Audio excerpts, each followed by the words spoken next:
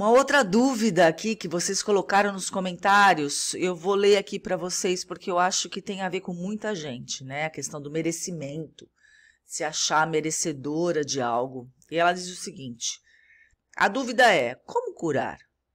Já peguei na unha aqui, as minhas, não me sinto boa, digna de estar com alguém. Por mais que minha lata seja padrão, o parceiro não fica comigo. Como consertar essa parafernália toda? Eu vou aqui responder. Principalmente quando a gente fala de relacionamento, né? Ai, Fernanda, nem, ninguém fica comigo. A coisa não vai para frente. Eles largam de mim, eles voltam com a ex, eles arrumam outra. A relação não vai para frente. Muitas vezes chega a virar um namoro, mas não dura muito tempo. O que, que eu tô fazendo de errado? Eu não me acho merecedora de uma pessoa. Quando a gente, muitas vezes a gente, lá dentro da gente, a gente não se acha merecedor, merecedora de alguma coisa, principalmente quando a gente fala de relacionamento afetivo. Quando eu não me acho merecedora, o que, que eu vou procurar? Pelo que, que eu vou me sentir atraída? Justamente por alguém, ou por alguma situação, algum tipo de relacionamento que vai reforçar aquilo que eu tenho lá dentro da minha mente. Então, se eu acho que eu não sou merecedora, eu vou me sentir atraída por um homem que vai me trocar, que vai me largar, que não vai me valorizar, que não vai querer assumir um relacionamento comigo, não vai ter consideração por mim, não vai ter respeito, não vai se importar com aquilo que eu estou sentindo, então vai reforçar aquilo que eu já tenho lá dentro. Vocês entenderam? Na mente da gente, a gente tem várias coisas que a gente acredita. Porque a gente viveu situações, porque a gente escutou, a gente vivenciou aquilo quando a gente era criança, até com outras pessoas. A gente escutou coisas que a gente jogou lá para dentro e a gente acreditou como sendo verdade. Então, a minha realidade hoje, ela é baseada naquilo que eu acredito. E eu vou me sentir sempre atraída, eu vou querer sempre coisas e situações e pessoas que vão reforçar, ou seja, vão validar aquilo que eu tenho lá dentro. É isso que eu percebo em todo mundo.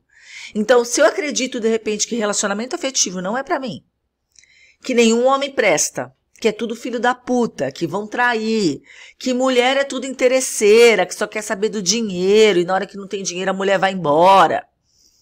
Se eu acredito nessas coisas, obviamente eu vou uh, me sentir atraída, ou seja, eu vou escolher.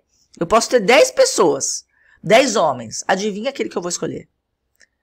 Justamente aquele que vai reforçar esse padrão. Aí você escolhe aquele dá com os burros na água e você vem e fala: tá vendo? Nenhum homem presta. Eu estou passando por aquilo que eu acredito. Vocês entenderam? É assim que, que funciona a nossa cabeça. A gente, na verdade, a gente só enxerga, na realidade, aquilo que a gente está pronto, pronta para enxergar. A gente enxerga aquilo que a gente acredita que seja possível para a gente. Então, se eu acho que relacionamento afetivo é algo muito complicado, que ninguém presta, que eu não sou digna, que eu não sou merecedora, eu vou encontrar pessoas que vão dizer para mim que eu não sou merecedora daquela relação. Eu não quero assumir um relacionamento com você. Eu não posso assumir um relacionamento com você. Eu, eu fui traído no passado. Eu tô na merda. Eu a minha ex foi embora com o leiteiro, com o padeiro, com o pagodeiro, com o fanqueiro. Então, eu não posso porque eu sou traumatizado. Eu não posso ter um relacionamento com você porque eu já sou casado. Eu não posso ter um relacionamento com você porque eu já sou casado com a minha mãe.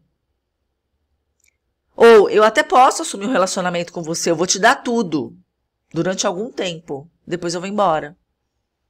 Eu não tenho estabilidade emocional é, e eu vou te trazer essa falta de estabilidade emocional. Então a gente acaba se sentindo atraída por por pessoas e por situações que não tem absolutamente nada a ver com aquilo que a gente quer. Mas é aquilo que a gente acredita lá dentro, entendeu? E aí, como é que a gente muda isso? A primeira coisa é identificar. Porque normalmente a gente tem um padrão de escolha. A gente tem um padrão de situações que se repetem.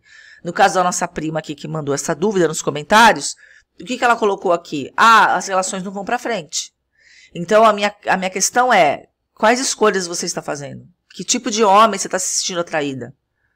Por que, que você sempre se atrai por pessoas uh, que oscilam? Pessoas instáveis, pessoas que ou não querem assumir a relação, ou são instáveis emocionalmente. Tem sempre uma ex a tiracolo ali, aquela coisa mal, mal acabada, mal resolvida. Tem sempre uma ex-mulher, tem sempre várias ex-mulheres brigando com ele, né? Tem aquela penca de filho que só por Deus. Então, o que tipo de escolha você está fazendo? O que é que você está procurando? Eu vejo isso nas pessoas. As pessoas vêm me trazer situações, eu, e, e, aí quando mostra a criatura para mim, obviamente achando que é uma grande coisa, a pessoa vem mostrar, e eu fico assim. A pessoa está sofrendo por isso, jura por Deus? A pessoa está sofrendo, a pessoa está eh, em desespero, em crise emocional, por causa disso, essa pessoa que tira foto no banheiro sem camisa, de frente pro espelho para postar no Instagram? É isso? Então aí você percebe o que, o que, que é, pelo que, que a pessoa está se sentindo atraída, por quê? Porque ela acredita lá dentro dela que aquilo é para ela, então para reforçar esse comportamento. Então é essa identificação que você precisa fazer. O que é que eu estou escolhendo? Pelo que, que eu estou me sentindo atraída? Ai, Fernanda, eu quero estabilidade. Eu quero uma pessoa que esteja aqui todo dia comigo. Eu quero ter filhos. Aí a pessoa se sente atraída pelo quê? Para um homem já casado três vezes, com três filhos com cada mulher, pagando pensão que ele não tem nem condição, não ganha nem para isso, mas ele sai fazendo filho.